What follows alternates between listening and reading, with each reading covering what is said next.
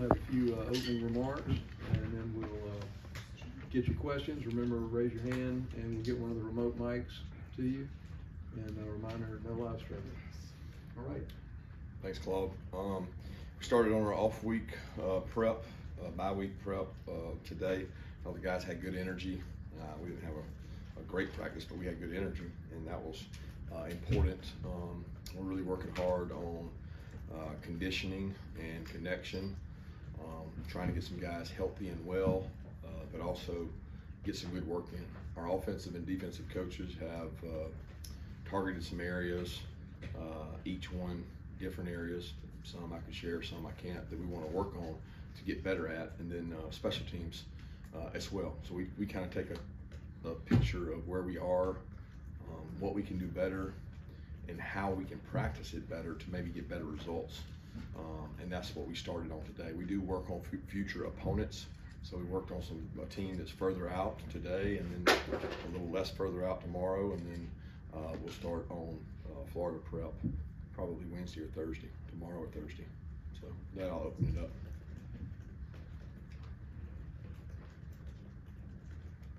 Coach, uh, how far along was, was Lawson? I know he's played in the last couple of games, and you mentioned him briefly in the post game. Where's Lawson Luckie at come, in his comeback? And um, can you fast track a guy like that? Is that a good term, or is that not really? Eh, You don't fast track a, a, an injury, really any injury. You, you, you, you do what the medical staff tells you and what the body tells you. Um, Lawson's done a fabulous job uh, rehabbing from his, and, um, and you know, Lawson's a really tough kid. He's, both parents were college athletes. He's not afraid of work, um, and uh, he's done a great job. So I, I still don't think Lawson's 100. percent that's what you're asking, but he is uh, definitely he's been cleared to play. You know, technically since Auburn, he's been cleared to play, um, but you know, just hadn't quite been ready to play.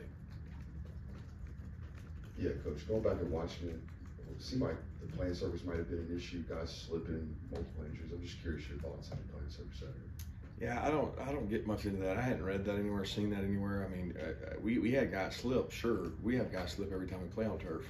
I actually, there was a game. Uh, I can't remember who Kentucky was playing, but I counted like 15 times people slipped in one of the Kentucky games before we played them, and I thought, well, what? That was Kentucky at home.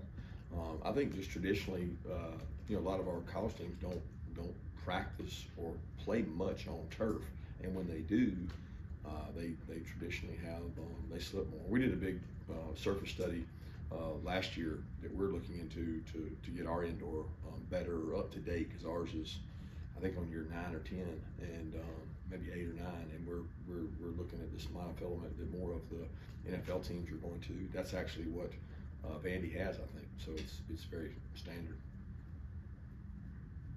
Coach, a lot has happened with uh, Brock since we last talked to you up in Nashville. Just wondering if you can kind of uh, be specific with us on what he's dealing with. I- If, if, it was it in fact the tightrope surgery? And then obviously you're talking about a guy like him with, you know, unlimited NFL potential. How are you weighing that against trying to come back and, and win a championship? Yeah, I don't think it's it's much about any of that as it is the more I've learned and you know, I've slowly become a, a bigger expert on this tightrope surgery because not because of Brock, because we've had multiple other guys and so have other teams. You know, I've talked to Hugh Freeze, Shane, uh, uh, several of the guys, you know, in, in our conference have dealt with this injury. It's, it's much more common. It's all over the NFL, so it's it's happening at a, a higher rate, I guess you would say. And um, a lot of studies have been done on it. And philosophically, to get healthy, you need to you know get back moving that ankle um, as soon as you can. Meaning, get on it, get weight bearing, move around. And we've had guys going through this process. Uh, so you know, Brock will take on that same rehab process and uh, his surgeon and, and, and Ron will work together on that, and it won't be done any different. The, the key is that we are trying to get him back healthy. There is no timeline for when he comes back to play. The timeline is when he's healthy, and I don't think you could put a timeline on it because historically there's been guys that came back really fast, and there's been guys that come back really slow. Each one's been different. Could we give an update on uh, Xavier Truss? Was was his a high ankle sprain also, and what is the availability, um, for him with Florida and Amarius Mims as well? Yeah, don't know. Uh, Truss did not practice today, um, but Truss was weight bearing. You know, second half of the game, he was on the sideline and over there, and uh, his um, deltoid um, was a little bit hurt, but it's not tightrope or anything like that. We, we think he should be fine and uh, should be good to go. I don't know if he'll be good to go by Thursday, but should be good to go by Monday.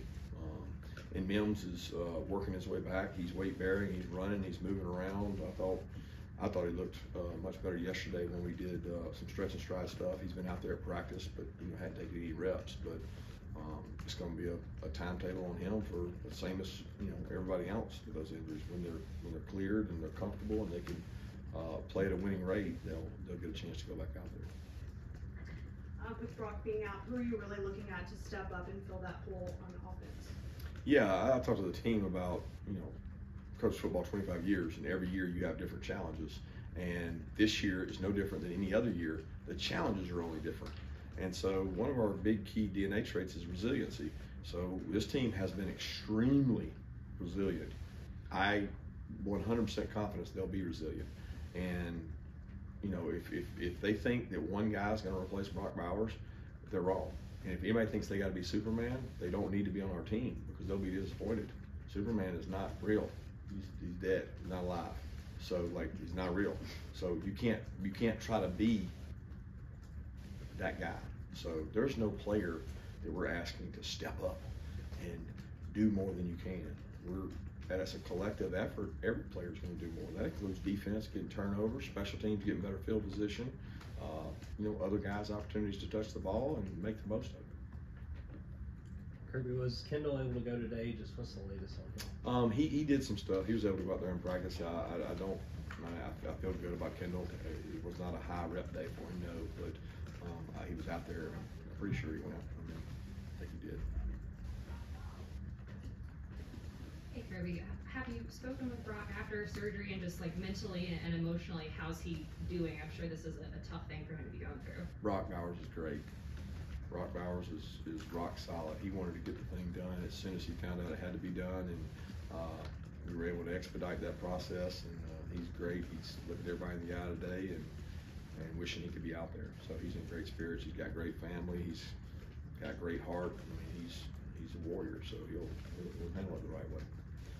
Yeah, coach, had a chance to evaluate him. Just curious how you thought Monroe Freeling, you know, responded to having get thrown into action. Yeah, you get thrown in there, and uh, it's great because about three weeks ago I called him and I told him, I said, Monroe, you realize you're one play away, and every rep you take in practice, you should be imagining that you're, you know, road game in there on the stadium and ready to go. And sure enough, it happened, and uh, yeah, thought did a good job. There's a lot of things he could work on, but you know, there's butterflies in that. Fortunately, he had gotten to play in some games, but not in that situation. So I was thrilled that he got to go out there and uh, get some confidence and go play. He's a really good athlete, um, and he's a worker, so he'll he'll work really hard to get better. Coach, you've obviously spoken with a lot of admiration for Brock, not just the player, but the person. So for you as, not the coach, but the person to see him have to deal with this, what is that like for? Well, I mean, it's hard on me to, for Marius Mims. You know, it's hard on me for Lawson Luckie. It's hard on me for Branson Robinson.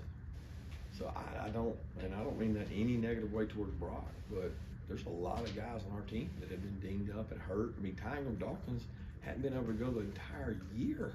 I mean, he went one game, I guess, and, and then we had to shut him down. So, like, Brock's aware that other guys have to deal with this too.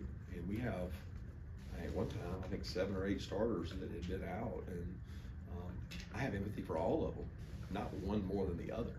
You know, I don't, I don't look at Brock's as more significant because he's a greater uh, player asset. They all have value. We got, we got walk-on kids that are having to have surgery. So um, it's tough anytime a player loses um, practice time and play time. I know earlier you said there's there's no Superman, especially when it comes to replacing a guy like Brock. But with you know Oscar Delp stepping into a bigger role, what do you tell him and what have you seen from him as he gets sort of prepared to do that? Obviously, knowing that he shouldn't feel the pressure to try and beat Brock. Yeah, he's not in a bigger role. He's in the same role he was in, which is to help our team. I, I, I don't, I don't believe that for one second. He's in a bigger role. Um, you know, the plays that you design, guys. I think y'all think of them as Brock plays.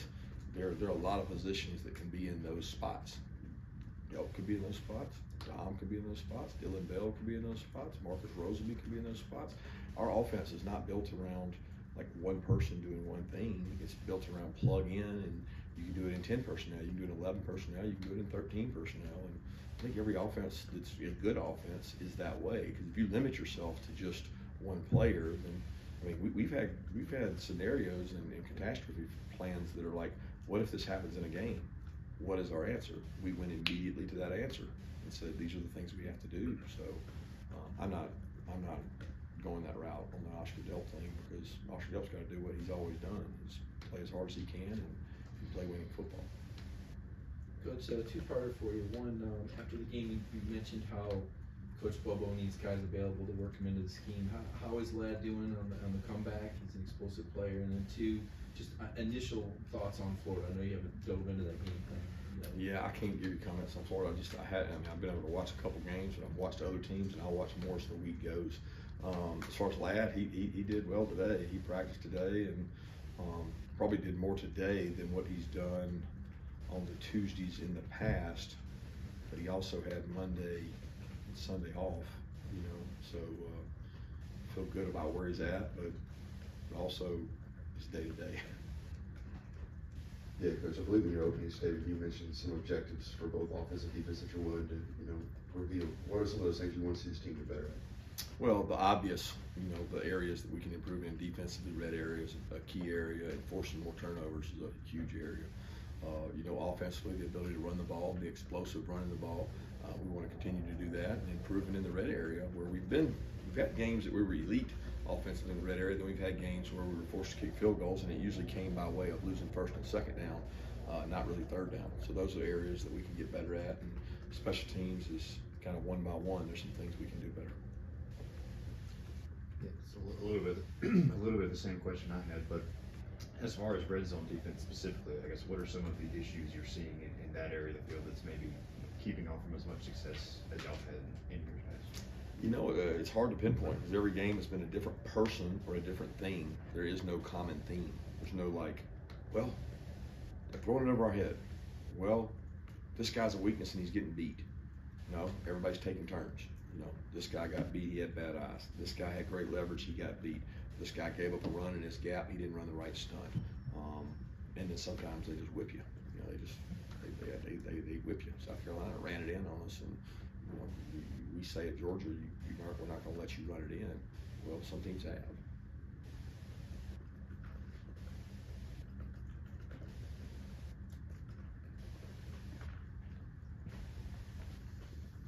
Yeah, after getting a chance to review the tape and seeing him now start seven games, what is your impression of Carson Beck now? He's grown to this point in the season. Yeah, uh, he plays uh, very uh, consistent, uh, winning football uh, when he plays within the system. Um, I think sometimes when he tries to do too much, he gets himself in trouble. But he's played uh, a really high level to me. You know, uh, like a 90% success rate, and keeping the 10% from being catastrophic is critical because uh, that's that's the ones you want to get back. And uh, if he can take those 10% and throw them away, and keep his 90% in his accuracy, you know, he's, we're going to be good offensively when he's good.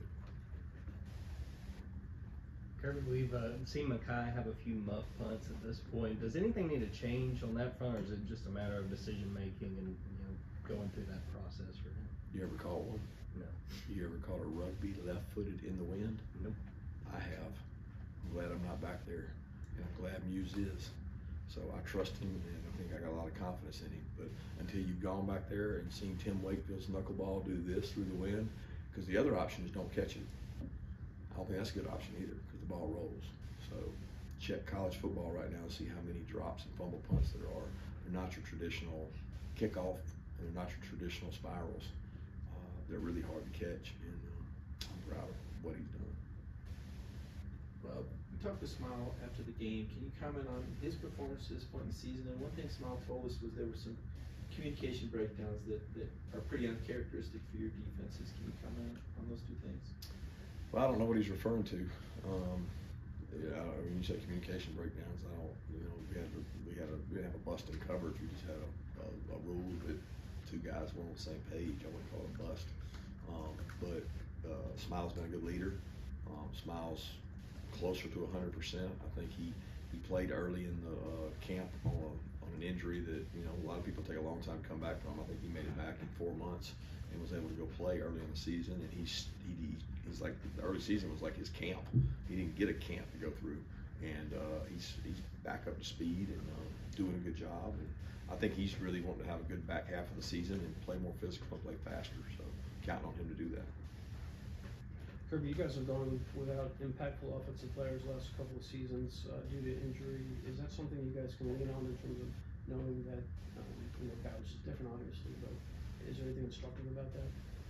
I don't know. I don't know that I would agree with that statement. Um, we've always had somebody that was impactful. I think you may be referencing George or, or some of those guys, but we've always had other guys that were impactful, and, and I still think we have impactful players on our offense now. So um, we've got good football players, and our guys are excited for the opportunity. And, uh, our, we got good coaches that'll find ways to get good players in football. Kirby, how confident would you say you are that Brock will be back in a Georgia uniform this at some point this season? You really think I'm gonna answer that question? I mean, like, is that all this, this is about? Like, you guys, all y'all wanna talk about is whether he's gonna be back or not. That's not, like, that is the furthest thing from my concern. My concern is this team and getting Brock Bowers healthy. And this team and getting Brock Bowers healthy. Like, to answer that question is speculative. I'm not gonna speculate. Coach, you've been pretty good in two minute the last couple weeks right before the half. What's been the key to you guys, you know, being successful in those critical moments getting the ball back um, for the offense to let them go two minute. Uh, they have been good. We've historically been good here. The middle eight numbers have been really good for us, and uh, this year is probably our worst year middle eight, but it was good Saturday, um, and it was the difference in the game. So I mean, getting the ball back is the biggest thing to get them going, get them started. Get time for two more questions? And uh, I'm sure you do your best to ignore it, but there's been a lot of doubt cast on Georgia's way losing a player like Brock. Is that maybe something you guys can use as fuel to sort of, you know, say, hey, we're more than just one great player on this team? I don't know. You said it. I mean, I don't. I don't think we need that to to, to, to have motivation or, or I mean, the motivation is to be great. Um, you know, I don't know if it, it creates that edge or, or what, but um, I'm just focused on what we're going to do tomorrow. Coach, it's always hit or miss when that bye week falls. You kind of laid out the plan for the staff, for the players, obviously kind of a different team. What's kind of the focus you want them to have, kind of the back half of the week going into next week? The back half of the week will be about Florida. The front half of the week will be about us, um, and the focus is on us and, and how we can get better. Thanks. Thank.